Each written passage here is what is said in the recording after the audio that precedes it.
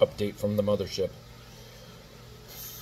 I am currently live chatting with India right now because that's where the software was built because the auction screwed up again. So some of the items finished last night after spending till about 10 o'clock at night fixing everything. People are winning.